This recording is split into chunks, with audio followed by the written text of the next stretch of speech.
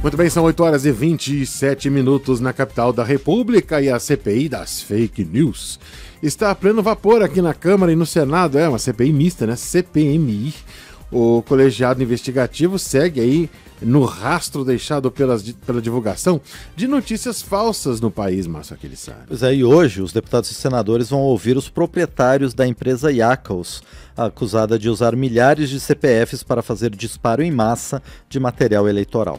Exatamente. E nesse sentido de saber um pouco mais sobre esse colegiado e sobre essas investigações e também repercutir as, os depoimentos que a CPI já colheu, a gente conversa com o deputado Carlos Jordi uh, deputado que é do PSL do Rio de Janeiro. Deputado Carlos Ordinho, muito, bo muito bom dia, prazer falar com o senhor.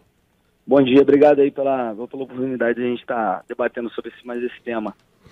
Bom, bom dia, deputado. Bom, deputado, o, a CPI na semana passada ouviu o depoimento do Hans River, que é o ex-funcionário da IACOS, e uh, essa empresa que é acusada aí de fazer disparos de mensagens via WhatsApp, com, usando vários CPFs para isso. É, ele foi convocado como testemunha para esclarecer o esquema de disparo de mensagens, para é, então favorecer é, pela, pelo depoimento o, o candidato, então, o candidato Jair Bolsonaro. Mas diante dos deputados os, e senadores, ele afirmou que, na verdade, fez disparo de mensagens para o PT e, e para o governador de São Paulo, João Dória, e acusou a repórter da Folha de São Paulo, Patrícia Campos Melo, de ter, inclusive, se insinuado para ele em troca de informações. A, a, Folha de São Paulo desmentiu a versão apresentada por ele na CPI, inclusive com uma matéria imensa com as transcrições do, dos diálogos entre o Hans River e a repórter. Uh, enfim, a questão gerou um imbróglio enorme, inclusive com a ameaça de processos aí, inclusive a a relatora, deputada Alice da Mata, levando a questão até para a Procuradoria-Geral da República. Que avaliação o senhor faz desse imbróglio todo aí, deputado Carlos Jorge? Olha, a avaliação que eu faço é que há uma tremenda parcialidade nessa, nessa comissão, uh, porque o Rangível ele fez uh, o, o, seu depoimento e, obviamente, que as pessoas ficaram uh, um pouco descontentes. na verdade, a grande parte ali do, da, da CPMI ficou descontente porque são pessoas que querem ver o circo pegando fogo, querem desgastar o governo e ficaram insatisfeitos com, o, com a declaração dele. Ficaram, aí alegaram que ficaram descontentes por conta da, da declaração de que ela havia se insinuado sexualmente, já falaram que ele, foi, que ele cometeu falso testemunho, mas em nenhum momento ali é, se foi apresentada alguma prova por parte da, da Patrícia ou qualquer coisa no sentido para desmentir o que ele tinha dito. Nada, nada. Os prints que ela colocou, em nenhum momento desmentem o que, ela, o que ele disse. E também, já que ela diz que ele contou alguma mentira nesse sentido, por que que naqueles prints não mostra nada referente de que Jair Bolsonaro tenha comprado é, disparos de WhatsApp pela Yakos, que é o que ela alegou na época, e que aquilo foi, repercutiu demais entre o primeiro e o segundo turno, como se Jair Bolsonaro tivesse cometido alguma ilegalidade na eleição. Nada daquilo, na, nenhum print dela demonstrou aquilo que ela havia falado anteriormente. Então, no meu ver, quem mente é ela e a oposição, a, a, alguns setores ali da, da CPMI é, mostraram parcialidade querem a reconvocação dele. Para mim, isso é uma verdadeira palhaçada. Eu acho que a CPMI ela tem um, um intuito certo, que é para fazer a regulação uh, da internet, é para desgastar o governo, emplacar essa narrativa de milícia virtual, e é um desperdício de tempo e é um desperdício de dinheiro público. Eu, sinceramente, eu estou nessa comissão, estou na comissão porque é, nós temos um espaço lá, né, que é, é regimental, para que o, o, nosso partido tenha é, certas vagas lá e para poder defender o governo diante de toda essa, essa arbitrariedade que está sendo feita na, na comissão. Você mesmo falou aqui que, o, que a Lídice da Mata, que, que ingressou na PGR, que, que quer, quer processar o Rangível, querem reconvocar o Rangível. Bom, se querem reconvocar o Rangível por conta do seu depoimento, em que naquele momento ele deu um depoimento em que ninguém sabe se, se o que ele falou foi verdadeiro ou falso, mas já fizeram juízo de valor de que ele cometeu um falso testemunho. Se querem convocá-lo por conta disso, então vamos, vamos convocar também a Patrícia.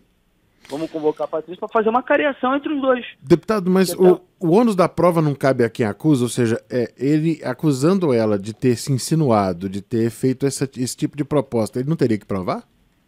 Bom, ele tem teria que provar, mas ele em dezembro de 2018 ele já havia feito essa, essas mesmas declarações na, na, foi no MPF, no MPF, falando a respeito de toda essa questão da Iacos. E ela, como ela acusou Jair Bolsonaro de ter contratado a Iacos para fazer disparos ilegais, ela também deve provar. Se o ônus da prova cabe a quem, quem acusa, ela também tem que provar. Então, diante de tudo isso, já que é uma CPMI, já que é uma, uma comissão para investigar todos esses fatos, nós agora temos que ouvir ambas as partes. Queremos chegar à verdade dos fatos. Então ela tem também que ser convocada. E eu repito, ao meu ver, nada disso deveria estar acontecendo, porque é, não, não há, até o momento, nenhuma questão de fake news está sendo apresentada, todas as testemunhas que são, que são convocadas lá é só para poder estar tá desgastando o governo, mostrando memes, mostrando é, coisas que são naturais da democracia. O que acontece é que esses setores aí, pessoal da esquerda, eles que ficaram descontentes com a, com a eleição de Jair Bolsonaro, eles percebem que eles estão perdendo na internet. Eles percebem que eles estão perdendo espaço. Ontem mesmo saiu uma reportagem do, que o PT vai, vai contratar uma, uma empresa para poder estar tá fazendo a sua reestruturação de, de mídias sociais, porque perceberam que estão perdendo para a direita nas redes sociais.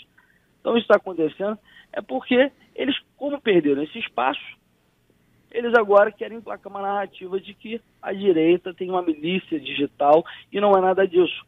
É uma organização normal por parte de, da, da, da sociedade, faz parte da democracia, cobrar os seus uh, mandatários, aqueles que eles elegeram e aqueles também que eles não elegeram, através das redes sociais. E aí, é, caso haja alguma ilegalidade, alguma ilicitude, alguma coisa que esteja à margem da lei, que isso seja uh, cobrado judicialmente. Existem já uh, diversos dispositivos para tratar disso, como a questão uh, de crimes contra a honra, de calúnia, difamação, mas não há uma necessidade de querer censurar, que é isso que acontece hoje através dessa CPMI. Censurar aquelas pessoas que pensam diferente daqueles que, é, que estão ali na, na CPMI, uma grande maioria, né, que tenta emplacar essa narrativa de que há uma, um aparato, há um aparato digital que é financiado com dinheiro público para poder estar fazendo campanha para Jair Bolsonaro, para a direita, para destruir seus adversários, porque na verdade isso até já aconteceu, mas não foi no nosso governo. Isso já, aconteceu no governo PT, como eles tinham os MAVs, que são os militantes ambientes virtuais, que inclusive era financiado com dinheiro público. No nosso governo, no, conosco, isso não acontece.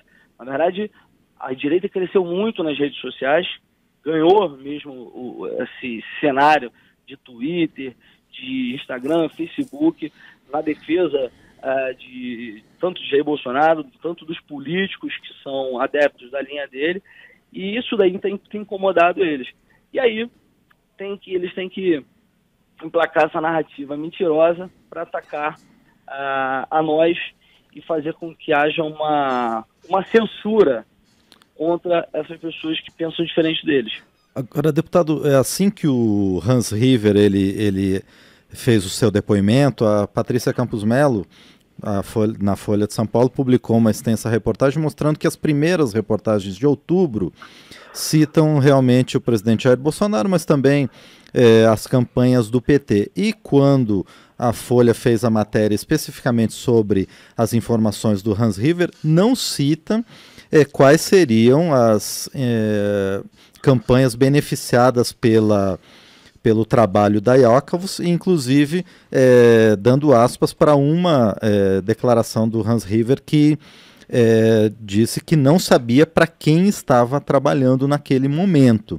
É, o senhor não considera que a mistura dessas duas matérias, uma de outubro de 2018 e essa com Hans River, que já em novembro, que, a, que essa mistura não, não quer provocar uma confusão deliberada é, na percepção da sociedade sobre é, essa linha evolutiva das matérias que tratam sobre fake news? Pois é, olha você vê como é que são as coisas. A Patrícia Campos Melo, vamos então é, voltar desde o início das suas reportagens para entender o que, que o que, que aconteceu. A Patrícia Campos Melo procurou o Hans River para poder estar investigando os disparos ilegais de mensagens através do WhatsApp pela campanha de Jair Bolsonaro. Entre o primeiro e o segundo turno sai uma reportagem afirmando, a partir dela, afirmando que Jair Bolsonaro teria comprado ilegalmente é, disparos de WhatsApp para poder divulgar fake news através dessa empresa Iacos. Patrícia Campos Melo, ela vai para, ela, ela é promovida e vai para Nova York, se eu não me engano, para ser correspondente internacional da Folha de São Paulo. Aí, passado tudo isso, a oposição, o PT, começa a tentar emplacar essa narrativa de que deveria ser anulado o pleito eleitoral porque houve compra de ilegais de WhatsApp, de disparo de WhatsApp pela campanha de Jair Bolsonaro. Vão no TSE e tudo mais. Agora, através da CPMI, convocam Rangiver, Rangiver alega que a jornalista o procurou, que se insinuou sexualmente para poder estar fazendo essa matéria e ele disse para ela que ele não fez campanha para o Dória, não fez campanha para Jair Bolsonaro, que é isso que estava sendo muito suscitado, as pessoas tentavam extrair aquilo dele lá, tentavam extrair. E ele diz que ele já havia feito campanha para o PT. Não lembrava de, exatamente de quem, mas ele já havia feito campanha para o PT. E aí a Patrícia Campos Melo, incomodada com aquilo, vai e fala que aquilo ali é uma mentira e começa a publicar uh, certos prints a respeito daquilo e diz que em nenhum momento ela questionou ele a respeito de fato, do fato da Iacos ter feito campanha com disparos de WhatsApp para Jair Bolsonaro. Então, olha já a contradição. Porque se ela disse aquilo na matéria que saiu entre o primeiro e o segundo turno, e agora ela fala que ela não questionou isso, alguma coisa está errada. Ela mentiu em algum momento. E é por isso que eu afirmo que a Patrícia Campos Melo ela deve ser convocada. Eu fiz um requerimento de convocação na semana passada, diante de tudo isso, e eu repito aqui, não tenho interesse algum em estar blindando quem, quem quer que seja, diferentemente do que tem acontecido naquela CPMI, em que aqueles deputados e senadores que são da oposição, que são da esquerda, que querem atacar o governo, quando tem algum, algum depoente, alguma testemunha que esteja falando coisas que são é, prejudiciais ao governo, que, que, que manchem a, a, a, imagem do governo, que, que sejam para emplacar a narrativa mentirosa deles, eles, eles vão e, e levantam aquela toda aquela possibilidade, ficam interrogando, tratando bem a pessoa, e quando teve o Hans River, eles já agiram de uma outra forma totalmente diferente, querendo censurá-lo, querendo dizer que aquilo é falso testemunho, e aí fazendo todo esse estardalhaço. Então, o que nós queremos é que eles sejam, se a, o Ranchiville vai ser reconvocado, que é o que a Lídice da Mata, o coronel é, Ângelo Coronel, Ângelo Coronel. Uhum. Todos, presidente da CPI. Todos os deputados, senadores de oposição estão querendo fazer para tentar reverter a situação, atenuar o dano feito naquela sessão, então vamos convocar também a, a Patrícia, a Patrícia tem que ser convocada, para que aí assim nós possamos, através da, da, obtenção das informações que vão ser dadas lá, fazer assim um juízo de valor com informações de ambos os lados. E, se possível, fazer até uma cariação entre eles. Uhum. Agora, o senhor acredita que o depoimento dos donos da IACOS hoje na CPI é, pode esclarecer alguma coisa nesse sentido, é, deputado? Olha, até acredito que tem alguma informação ou outra que possa, que possa estar nos auxiliando, tá?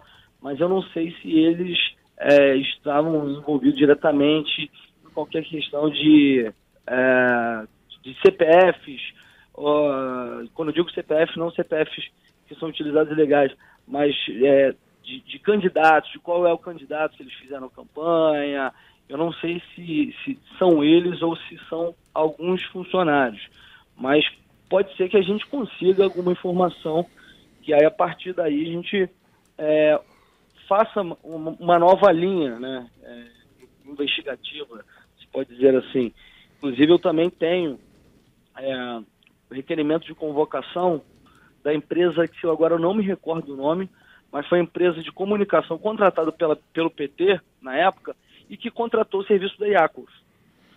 Eles, eu, eu fiz esse requerimento de convocação porque já essa empresa ela pode ter mais algumas informações nesse sentido. Acho que é M Romano, não é isso, deputado? M Romano, isso, isso, perfeito. Eu ia falar, mas fui mais precavido. É isso mesmo, M Romano. Eu fiz o requerimento de convocação e hoje, é, embora não seja uma sessão deliberativa, só eu tive as testemunhas, é, vou levantar essa questão de convocarmos também, insistir na convocação da Patrícia Campos Melo e também é, convocar a M Romano. Bom, deputado, para a gente fechar, o senhor acredita que essa disputa política que existe dentro da CPMI pode prejudicar a apuração da questão da fake news? Porque tem outros temas que não são políticos, como, por exemplo, a questão das vacinas, que há uma série de mensagens falsas aí, que inclusive tem prejudicado as campanhas de vacinação do governo, e isso não vem de hoje, vem de outros governos, inclusive. É, o senhor avalia isso? O senhor acredita que a questão política pode sobrepor e a CPI acabar não apurando de fato uh, tudo que se tem a respeito de fake news no Brasil? Olha, eu não tenho dúvida. O que está acontecendo na CPMI, eu repito, é um circo. Aquilo ali é armado e eles estão sempre levando para a questão política e muito mais no sentido de que como se o governo, se o atual governo, né, que antes não era governo, mas uh, os agentes desse governo, uh, nós uh, do campo conservador, ligados a Jair Bolsonaro, uh, estivéssemos utilizando legalmente as redes sociais para atacar nossos inimigos, uh, sendo pagos com dinheiro público, e eh, ela está restrita a isso. Ela está restrita a isso. Você pode ver que ela não sai daquilo ali. O máximo que vão fazer é falar, pegar memes e falar que uh, esses memes estão atacando determinados deputados, como já foi feito ali, como a Joyce Rossman e o Alexandre Frota e não está realmente tendo uma amplitude mais geral e simplesmente focando não só na questão política, mas fake news uh, que teriam sendo, estariam sendo e teriam sido propagadas uh, pelos uh, correligionários, uh, pelos aliados de Jair Bolsonaro. Muito bem, deputado Carlos Jordi, do PSL do Rio de Janeiro, conversando com a gente aqui sobre CPI das fake news. Deputado, muito obrigado pela participação aqui no painel eletrônico. Um excelente dia para o senhor. Valeu, eu que agradeço. Obrigado, Tchau. deputado.